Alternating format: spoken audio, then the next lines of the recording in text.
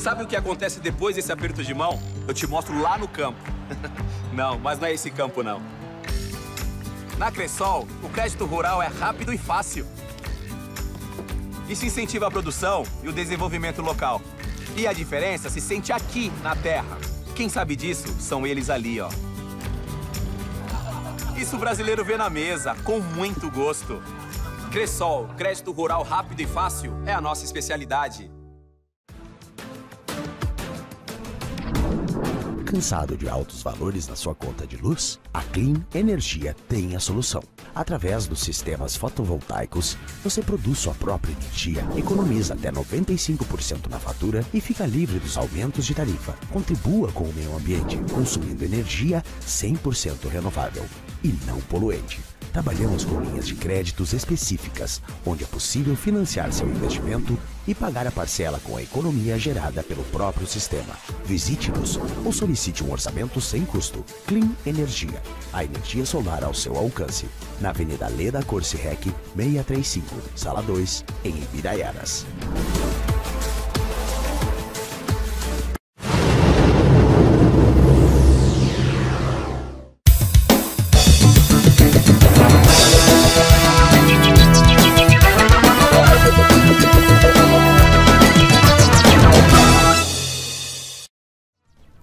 Boa noite. Você fica a partir de agora com mais uma edição do Boa Noite Cidade, os destaques desta quinta-feira.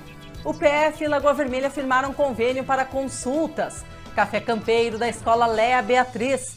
Primeira tertúlia foi realizada pela Câmara de Vereadores. Câmara de Vereadores realizou audiência pública para resolver questões dos aumentos nas contas de luz. SAMU está atendendo em novo endereço. Autoelétrica Pedroso, há 25 anos, atuando em Lagoa Vermelha. Encontro da reitoria da UPF colheu importantes sugestões. Segmento de comentários dessa noite com o deputado Ronaldo Santini no esporte. Lagoa Esporte Clube joga amanhã em Fortaleza dos Valos contra a FF. Também os destaques da área policial com o repórter Daniel Carvalho são as notícias que você confere a partir de agora. O Boa Noite Cidade dessa noite está começando.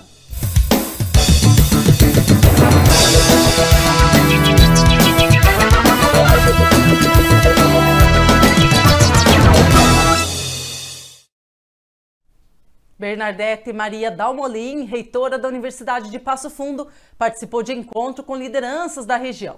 Aproveitou para informar sobre o convênio que o PF está firmando com o município de Lagoa Vermelha para consultas especializadas.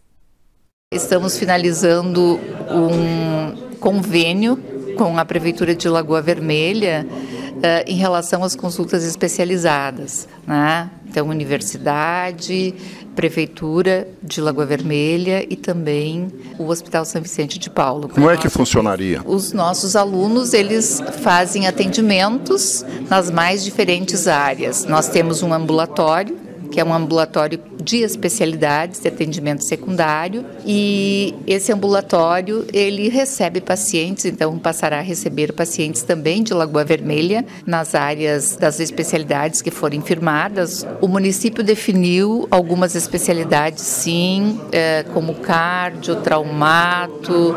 Tenho de me certificar melhor as demais, tá? Mas algumas especialidades que são importantes, que estão reprimidas no município e que são atendidas pelos nossos professores, pelos nossos acadêmicos e que são também atendidas pelo hospital na demanda de exames, de modo que é uma parceria tríplice aí que dá conta de uma necessidade muito importante da comunidade lagoense e, quiçá, de outras comunidades também. Esse convênio está em fase final para ser colocado em prática. Isso, está em fase final. Nós estamos, deveremos assiná-lo, já foi construído aqui com a prefeitura, estamos em tratativas já há alguns meses. A Escola Leia Beatriz Douzan realizou sua quarta edição do Café Campeiro. Muitos convidados estiveram presentes, abrilhantando o evento. Danças, músicas, mateada e vaca parada foram as atividades. A diretora Angeli Tomizolo trouxe mais informações. Nós estamos na nossa quarta edição já do Café Campeiro, então nós recebemos sim hoje muitos convidados, o CTG que veio fazer uma, apresentações, a Fábrica de Gaiteiros que veio a brilhantar com as crianças que estão fazendo parte, que já é um projeto do nosso município. E então, para hoje, além dessas apresentações, o tradicional café, né, que não pode faltar, e na sequência, a mateada com vaca parada. Perfeito. E algo que a secretária da Educação, Cultura e Desporto, Aline Teles Fazoli, falou que ela se orgulha dos alunos, porque teve um momento em uma atividade fora da escola, foi perguntado quem sabia fazer o chimarrão. E os alunos da Lea Beatriz sabiam. Eles tiraram de letra esta. Os alunos que fazem parte do projeto de educação em tempo integral são alunos aqui da nossa escola de quarto, quinto e sexto ano e eles frequentam este projeto lá na Escola Antônio Carlos. Ela cedeia por nós não termos espaços para isso. E lá eles têm várias oficinas, dentre elas então a oficina é o CTG, voluntariamente, que trabalha com essa oficina sobre o tradicionalismo. Então lá eles estão aprendendo muitas coisas relacionadas à nossa tradição dentro da culinária, até o fazer chimarrão, que eles se saíram bem nesta, a, as danças, toda a cultura gaúcha. A escola irá participar do desfile Farroupilha também? Com algumas meninas deste projeto de educação em tempo integral irão desfilar sim amanhã. Então a nossa escola vai ser representada pela educação em tempo integral. Em média, quantos alunos tem a escola atualmente? Em torno de 285, desde o pré-A até o nono ano. Alguma consideração final, alguma mensagem, agradecimento? Gostaria de agradecer a todas as pessoas que estiveram envolvidas para organizar as mesas, a comida, o café, nós, nós tivemos também a, a, participação de uma vovó que fez os bolos, das funcionárias da escola, os professores, o CTG Alexandre Pato, a fábrica de gaiteiros, a, toda a equipe da Secretaria da Educação, o pessoal do Conselho da Educação também esteve presente, a representatividade também do Executivo e do Legislativo da Prefeitura Municipal, então o pessoal da Casa da Cultura também, que vieram acompanhar o nosso trabalho, que estavam diretamente envolvidos também nessa programação da Semana Farroupilha. Um agradecimento especial também aos alunos que aqui estão e a vocês. Primeira tertúlia aconteceu no saguão da Câmara de Vereadores. Natália Biazuz, assessora de imprensa, destacou as atividades que foram promovidas pela Câmara. Então aconteceu no saguão da Câmara de Vereadores, na tarde dessa quarta-feira, a primeira tertúlia que nós realizamos aqui no saguão. Então ela faz parte da programação da Semana Farroupilha do município. E nós tivemos reunidos, então, na tarde de hoje, os gaiteiros da Associação de Gaiteiros, a fábrica de gaiteiros, também o professor Diego e o aluno Vitor, e o CTG Bombacha Branca que nos prestigiou. Excelente. E essa atividade, ela vai ser realizada, ela foi realizada apenas nesta quarta-feira ou terá mais alguma atividade em função da Semana Farroupilha? Então, a, a, participação da Câmara de Vereadores na Semana Farroupilha encerra com essa atividade, no sentido de ser alguma atividade promovida pela Câmara. Então, nós tivemos a exibição do filme do Adelar Bertucci, a sessão solene que aconteceu na terça de noite e a tertúlia que aconteceu nessa tarde. Mas a gente sabe que os vereadores estão todos envolvidos claro. durante toda a semana nas atividades prestigiando, não é mesmo? Claro, agora nós teremos então a abertura da vertente da canção, teremos o desfile farroupilha e também a missa campeira no domingo. Então, uh, a, como a Semana Farroupilha está sendo organizada por uma comissão composta por diversas entidades, os vereadores estão fazendo um esforço também para estar presentes nessas ações para apoiar a Semana Farroupilha como um todo. Então a tertúlia foi um meio também de cultuar a cultura gaúcha, nós tivemos música, declamação de poesia, apresentação de chula também, num modo bem gaúcho. Ocorreu no dia de ontem audiência pública na Câmara de Vereadores sobre os aumentos das contas de luz. Estiveram presentes moradores, vereadores e a equipe da RGE. O vereador Braulio trouxe detalhes sobre o que foi decidido. Queremos agradecer a presença de vocês que vieram aqui da Lagoa TV, da Lagoa FM, né, para poder ver a população, né, a, as reclamações que eles tinham, agradecer a população que veio também, agradecer os colegas vereadores que vieram participar conosco e também o pessoal da supervisão da RGE, funcionários da RGE que vieram da parte administrativa informar. A população trouxe bastante reclamações, as contas aumentaram absurdamente nos últimos meses, né? E, e foram vários questionamentos, todos que estavam aqui era praticamente a mesma coisa.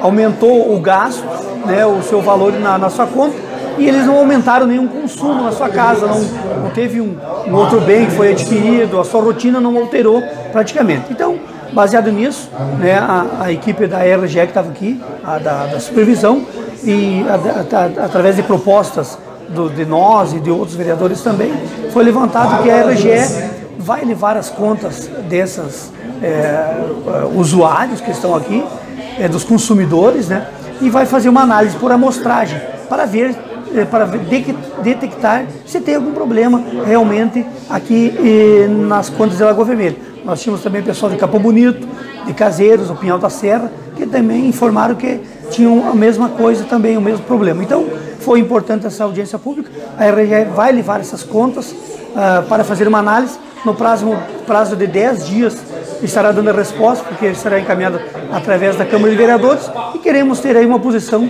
para informar a população aí se terão, eh, se a população tem essa razão, será, será ressarcido os valores ou, ou essa questão. Então, é uma pré-análise que vai ser feita então acho que foi um passo muito importante aí que foi dado voz para a população de Lagoa Vermelha através da nossa audiência pública aqui na Câmara de Vereadores. O SAMU mudou de endereço. Está instalado agora no bairro Nunes, proximidades ao Paulo Telas. Foi o que informou a coordenadora Daniele Souza. O SAMU agora faz parte de uma nova empresa de pontão, a Removo Remoções, que assumiu por licitação. O SAMU está no novo endereço, nos mudamos essa semana. Está situado na rua Coronel João Lúcio Nunes, próximo ao Paulo Telas, ali no bairro Nunes. Sim, esse é o novo endereço. É o novo endereço. Até então estava funcionando no Hospital São Paulo. Isso, estava funcionando no Hospital São Paulo. Agora, com essa nova empresa que assumiu, mudamos de endereço, né? Vamos estar mais próximos, acho que mais vistos até pela população aqui de Lagoa Vermelha. Isso, agora é uma nova empresa. Como é que é essa nova empresa? Essa, essa nova empresa é uma empresa de pontão. Ela é a Removo Remoções, né? Uhum. E ela assumiu agora nessa última licitação que foi feita em Lagoa Vermelha, a, assumimos o SAMU daí. Foi realizada a licitação através da Prefeitura Municipal. Isso. Uhum. E essa empresa que ganhou. Isso, essa empresa atuante e por isso também o motivo da nossa mudança, né? Isso mesmo. Como é que é o local lá? O local é uma casa, uma casa normal, né, uma moradia domiciliar, mas foi, ela tem três quartos. Fizemos um quarto, um dormitório masculino, um dormitório feminino e o outro quarto que tem um acesso ao banheiro também. Vamos fazer uma sala de treinamentos daí para os nossos condutores, nossos técnicos de enfermagem que têm que ficar atualizados, né? E também futuramente para orientações à população e à comunidade lagoense. Como é que vocês montaram toda a estrutura lá nessa casa? A estrutura ela está sendo montada aos poucos, aos né? Poucos. E isso ganhamos. Até gostaria de agradecer, aproveitar o momento para agradecer a população que nos doou uh, utensílios domésticos, tudo o que precisou para dentro de uma casa a gente está ganhando da comunidade. Então, uh, a, o meu muito obrigado pela equipe, né? Uh, representando a equipe do SAMU por todos, a, todas as doações que recebemos durante essa semana. E o SAMU tem sido muito acionado? O SAMU tem, uh, esse último mês eu até repassei para a Secretaria de Saúde 42 atendimentos. Uh, voltamos a, a, anunciar né, na rádio pela manhã os atendimentos que a gente faz no Sim. dia anterior. Isso também está ajudando bastante a ser, sermos vistos pela população, né? Que assim estamos ali 24 horas e a, o que precisar contar conosco é só nos ligar no 192.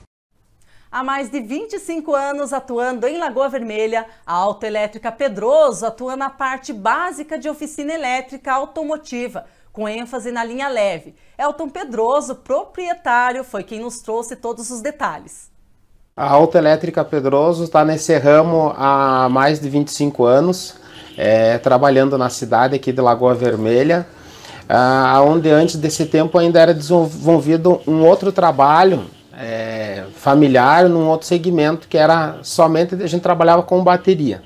A partir de um dado momento, a gente trabalhou também, começou a trabalhar com a parte elétrica dos veículos. Hoje a nossa a, a gente atua então é, na parte básica, é uma oficina elétrica automotiva. A gente atua na parte básica, é, atuando arrumando motor de partida, alternador, é, lâmpada, é, bateria, é, com ênfase na linha leve, que é a nossa especialidade. Não que a gente não atue é, na linha pesada ou agrícola, a gente também atua, porém a nossa especialidade é na linha leve.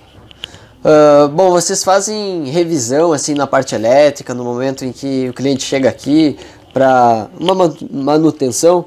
Correto, a gente faz manutenção e inclusive a gente indica que a cada 50 mil quilômetros o motor de partida ou alternador do veículo deve de ser revisado, a parte elétrica do carro ela deve de ser observada pelo condutor todo dia antes de sair de casa, e, mas se aconselha a revisão da parte elétrica é, mais acentuada a cada mês. Esse é um procedimento rápido de verificar qual lâmpada está queimada ou alguma coisa do gênero quando o veículo mesmo não avisa. É, a bateria, por exemplo, do veículo dura em média dois anos e meio. Há casos que já vi durar até 5, 6 anos. Já vi é, motor de partida passar de 200 mil quilômetros. Porém, o que se recomenda é a cada é a revisão de motor de partida e alternador a cada 50 mil quilômetros, ou se não, a cada 3 anos e meio. Claro, tem que dar aquela revisão, não adianta esperar vencer, né? Isso, que... até porque eventualmente é, farol queimado, alguma coisa da sinalização que não funciona, a pessoa vai levar uma multa, né? Então custa muito mais caro. Então se recomenda ter a observação sempre antes de sair de casa, ver se tá todas as luzes funcionando e a troca e a manutenção, via de regra, é sempre um procedimento rápido. Pra, até para prevenir o próprio motorista e o trânsito. Né? Correto, colaborar com o trânsito também. A necessidade de que se sinalize, né, pisca e, e para o bom andamento do fluxo do trânsito. Bom, vocês fazem vendas de peças aqui dentro? Sim, a gente faz venda de peças também, a gente faz a prestação de serviço do reparo e também tem a peça para trocar. Então, dentro da linha básica que a gente se propõe no mercado, a gente tem a peça para substituir e o serviço para prestar com garantia conforme manda a lei. Bom, para finalizar, então, poderia mandar um recado para o nosso telespectador, quem está assistindo, para chegar aqui é, passar o endereço que vocês estão aí e convidar a galera. Gostaria de frisar aos clientes e amigos que a, um, é uma média há um ano estamos em endereço novo, ainda todo na Presidente Vargas, como de hábito, é, porém agora ao lado aqui do posto Santo Antônio, em, em frente a carne.com, um novo endereço, um espaço um pouco mais amplo para o nosso serviço sair com uma maior qualidade e rapidez no atendimento. Aconteceu ontem encontro da reitoria da UPF com lideranças de Lagoa Vermelha e região. Rogério Silva, um dos vice-reitores da UPF, falou a nossa reportagem. Foi ouvido também Luiz Fernando Kramer Pereira Neto, presidente da Fundação da Universidade de Passo Fundo. Para nós da Universidade de Passo Fundo é extremamente gratificante a gente poder vir até as comunidades, aonde especialmente nós temos a nossa presença forte com o campus aqui de Lagoa Vermelha e poder fazer esse diálogo com a comunidade, com prefeitos, vereadores, secretários, representantes eh, de empresas, enfim, com toda, com toda a comunidade é, dessa região aqui, é, mais no sentido assim de a gente ouvir, né? A gente vem especialmente, nós não trazemos nem o pacote pronto, nós queremos ouvir aquilo que a comunidade espera da Universidade de Passo Fundo.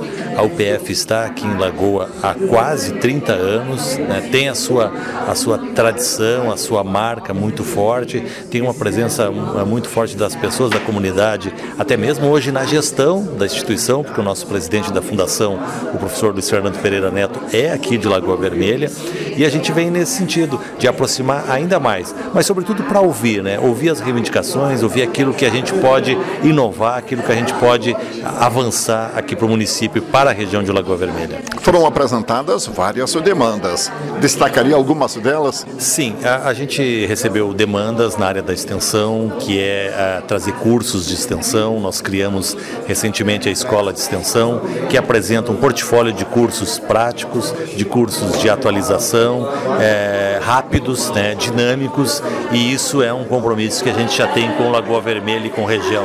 Há um interesse também com relação ao ensino médio, ao ensino fundamental, essas questões passam a ser debatidas. Na qualificação ah, da, do serviço público, da gestão pública, um pedido encaminhado pelos prefeitos, pela liderança aqui, que a gente também vai trabalhar. Ou seja, é uma série de reivindicações que podem e devem ser acompanhadas pelo nosso grupo, pelos nossos professores, e a gente vai fazer isso a partir desse contato. É a primeira dessa atual gestão, mas de uma série de encontros que a gente vai fazer aqui em Lagoa Vermelha e em toda a região. Nós temos aqui a nossa, nossa direção do campus, que já faz isso, ah, os nossos professores coordenadores que estão eh, semanalmente aqui, mas nós queremos que nos levem essas demandas também, né? que nos digam, olha, a gente precisa isso, e é o que a gente fez aqui hoje.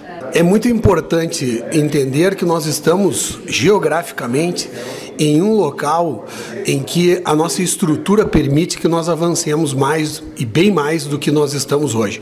Por exemplo, num turno matutino e num turno vespertino, à tarde nós não temos atividades no campus de Lagoa Vermelha. Poderíamos ter com o ensino fundamental, o ensino infantil, com o ensino integrado, lembrando que a universidade ela ainda mantém seus cursos de licenciaturas abertos, ou seja, aquela pergunta: quem serão os professores de geografia, de química, de matemática, de biologia dos nossos filhos? A Universidade de Passo Fundo sabe responder. Nós temos todo esse material humano, inclusive vinculado a laboratórios, que podem vir para esses municípios, como exemplo é a Lagoa Vermelha, e podem ocupar como uma forma de aumento de receita para os caixas, para o fluxo de caixa institucional. A ideia, isso o senhor falou na sua manifestação durante o encontro, é implementar cursos para enfrentar as demandas reprimidas. Perfeito. Quando nós nos referimos a demandas reprimidas, nós estamos nos referindo à escola de extensão cursos de extensão, como por exemplo Lagoa Vermelha é em dois campos, o segundo polo moveleiro do estado e também é muito forte no agronegócio. Não há problema algum de que em company, ou seja, criando grupos, né, grupos de alunos aí em torno de 15, 20 alunos, nós possamos viabilizar turmas para esses cursos de extensão de demanda reprimida, que podem estar no interior, como por exemplo Tupanci do Sul, como por exemplo Capão Bonito, Barretos, enfim, localidades que são adjacentes à Lagoa Vermelha e que podem nos trazer um público realmente muito interessante e que depois então farão parte de cursos como o próprio agronegócio, que pode ser um curso superior. Intervalo e depois a gente volta com o segmento de comentários hoje com o deputado Ronaldo Santini, também as informações do esporte e da segurança pública. Você vê imagens agora de Lagoa Vermelha, 17 graus e chove em nossa cidade.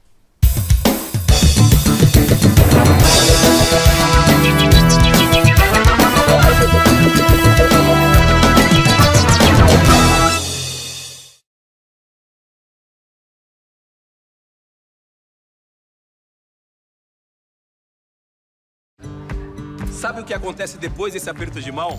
Eu te mostro lá no campo. não, mas não é esse campo, não. Na Cressol, o crédito rural é rápido e fácil. Isso incentiva a produção e o desenvolvimento local. E a diferença se sente aqui, na terra. Quem sabe disso são eles ali, ó. Isso o brasileiro vê na mesa, com muito gosto. Cressol, crédito rural rápido e fácil, é a nossa especialidade. Cansado de altos valores na sua conta de luz? A Clean Energia tem a solução. Através dos sistemas fotovoltaicos, você produz sua própria energia, economiza até 95% na fatura e fica livre dos aumentos de tarifa. Contribua com o meio ambiente, consumindo energia 100% renovável e não poluente. Trabalhamos com linhas de créditos específicas, onde é possível financiar seu investimento e pagar a parcela com a economia gerada pelo próprio sistema. Visite-nos ou solicite um orçamento sem custo. Clean Energia, a energia solar ao seu alcance. Na Avenida Leda Corse Rec, 635, Sala 2, em Ibiraiaras.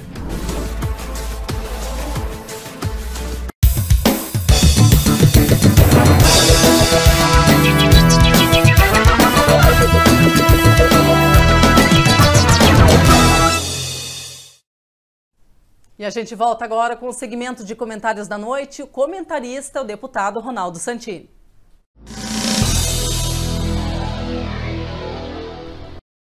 Olá, meus amigos, minhas amigas que acompanham o nosso telejornal da Rádio TV Lagoa.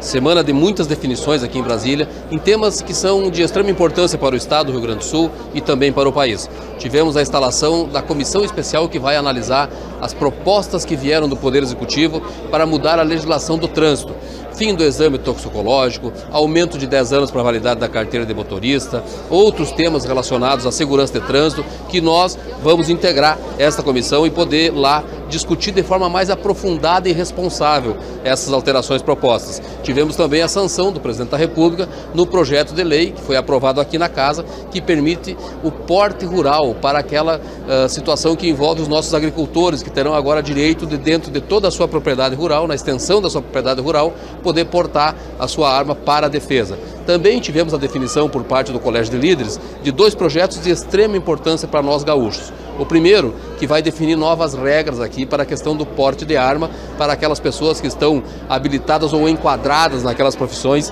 que o presidente entendeu que deveriam ter esse direito, especialmente para aqueles que estão uh, relacionados aos CACs, aos colecionadores, atiradores, caçadores, que são hoje uma grande parcela da população gaúcha.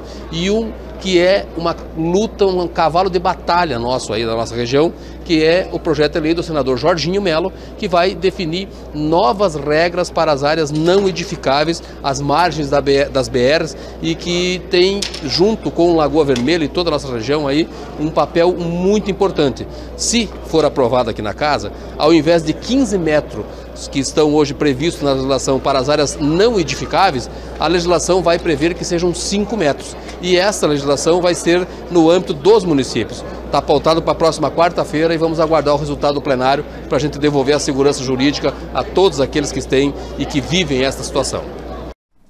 E o Lagoa Esporte Clube joga amanhã em Fortaleza dos Valos às 18 horas e 30 minutos. O time da FF já está matematicamente rebaixado.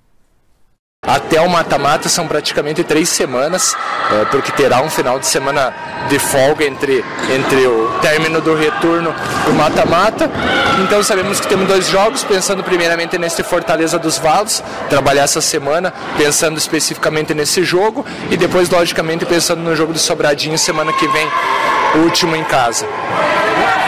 Alexandre, é, o time de Fortaleza dos Valos na zona do rebaixamento, mas não tem garantia de nada para o time do Lagoa, né? Com certeza, até porque nesse retorno eu acredito que hoje a gente só não é líder por causa dos nossos jogos fora. Se tu analisar nossa campanha no retorno fora de casa de quatro jogos, a gente tem somente um, 12 pontos, a gente tem somente um feito que foi empate contra a Casca derrotas para o Guarani, para Horizontina e para Age, não tirando o mérito das equipes que a gente enfrentou, mas isso com certeza faz diferença nesse retorno. A gente mesmo comentava que o nosso primeiro turno tinha sido muito bom e que dificilmente a gente conseguiria somar o mesmo número de pontos, mas que a gente queria chegar o mais próximo possível. Hoje, talvez se nós tivéssemos uma vitória, se nós não, se nós tivéssemos uma vitória a mais, nós sermos líder. Então, a nossa campanha fora de casa, infelizmente, uh, nos coloca nessa condição de segundo segundo lugar, mas que é uma boa colocação, mas que, claro, nos, no, essas derrotas nossas fora de casa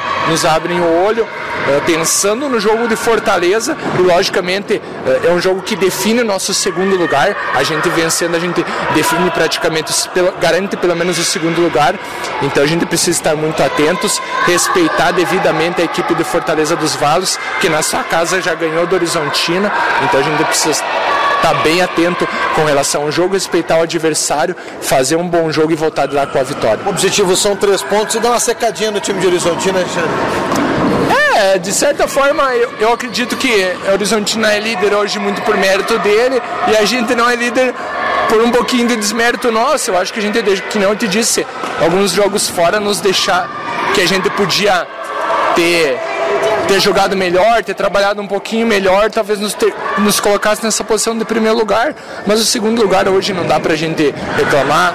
É, lógico que a gente pensa em ser primeiro, pensa, mas pensa primeiramente em vencer essas duas partidas, em terminar em terminar jogando bem, terminar num bom ritmo, que a gente sabe que como termina essa fase eh, tem um peso muito grande, eh, tem um peso muito grande para o mata-mata. E aí faltam dois jogos, tem uma parada antes do mata-mata, claro, mas o atleta já pensa naquele primeiro jogo de quartas de final, já olha a tabela para ver quem vem, quem não vem. Casca tem uma grande possibilidade. Como é que você avalia esse momento aí, Alexandre? É, tu falou bem, pode ser casca, pode ser ágil, pode ser até o nadas. Pra tu ver, uh, Carazinho hoje é o oitavo, mas rodeio bonito tem chances ainda. E a gente fala muito, a gente tem comentado muito sobre como cresceu a equipe do Casca e da Age, né? O próprio Nadas, que vem fazendo uma excelente competição. Então tu vê, quem vai pegar esses adversários não vai pegar, não vai pegar parada fácil não. São equipes que estão numa crescente, que em casa são muito fortes. Então, hoje tu não tem nem como se basear em quem será o adversário. Pode ser qualquer um dos três. Então, por isso que eu disse, nosso trabalho tem que ser direcionado a nós estarmos na nossa melhor condição, física, técnica, vencer esses dois jogos, terminar essa fase confiante. Depois a gente vai ter duas semanas até o primeiro jogo. Aí sim, já pensando diretamente no jogo, mas acho que nesse momento trabalhar bem, trabalhar os aspectos físicos, técnicos que a gente precisa trabalhar para a gente terminar, uh, como a gente diz, no ápice da nossa equipe para que a gente comece esse mata-mata, chegue nesse mata-mata no nosso ápice, que aí sim, todo mundo chegando no seu melhor momento, a gente vai ser muito forte. E agora os principais acontecimentos da área policial com o repórter Daniel Carvalho. Boa noite, Daniel. Boa noite, Marina. Boa noite a todos que acompanham a Lagoa TV. A gente vem trazendo o resumo do dia, né? Trazendo as últimas informações no que diz respeito à espera policial, sempre com apoio de Alfa Segurança e Monitoramento. Empresa localizada, escritório na Nível Castelano, ao lado da agência dos Correios. Três fatos a gente merece destacar nesta noite. Primeiro, é uma ação dos policiais aqui de Lagoa Vermelha, prestando apoio em uma audiência pública no município de Cacique Doble. Ontem à tarde, o Ministério Público Federal, através da Procuradoria da República, realizou uma importante reunião na Câmara de Vereadores no município de Cacique Doble, com indígenas daquela comunidade. Vários assuntos abordados. E para trazer segurança para a população e para as pessoas que estavam nesta reunião, a segurança foi reforçada. Policiais de Lagoa Vermelha, um efetivo de Lagoa Vermelha, foi deslocado aí até o município, aonde durante toda a tarde desta é, quarta-feira foram realizados então o monitoramento, patrulhamento aí nas, uh, nas ruas de Cacique e também nas proximidades da Câmara de Vereadores. Após longas horas aí de, é, de, de intensa discussão, a reunião terminou pacificamente. Uma, via, uma viatura aqui de Lagoa Vermelha com policiais da nossa região estiveram aí realizando este patrulhamento. Ontem à noite, os policiais acabaram realizando uma abordagem no bairro Pajé. Um veículo Citroën com placas de Flores da Cunha estaria em atitude suspeita na rua Cepete Araju. Porém, ao ser abordado, ao ser feita a abordagem desse condutor, o mesmo empreendeu fuga, gerando perigo de dano, colocando em risco a vida dos motoristas, de mais pessoas, além de estar aí com é, trafegando em, com o limite de velocidade em excesso, né? Após alguns acompanhamentos aí por alguns quilômetros, nas proximidades aí do Tropical, ele foi abordado, acabou batendo no guarda-reio e colidindo em uma Fiat Estrada que vinha na direção contrária. Três pessoas estavam no interior do veículo. Dois homens e uma mulher foram então presos e encaminhados para a delegacia de polícia. Uma vistoria foi feita no interior do carro e nada foi encontrado. Condutor desse veículo Citroën responderá por crimes, aí diversos crimes de trânsito.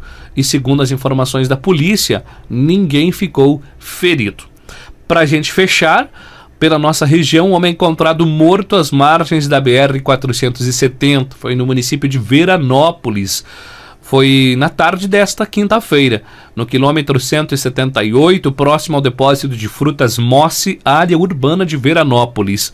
Segundo o Corpo de Bombeiros, os profissionais foram acionados por volta das 13 horas e 15 minutos e, chegando ao local, constataram o óbito.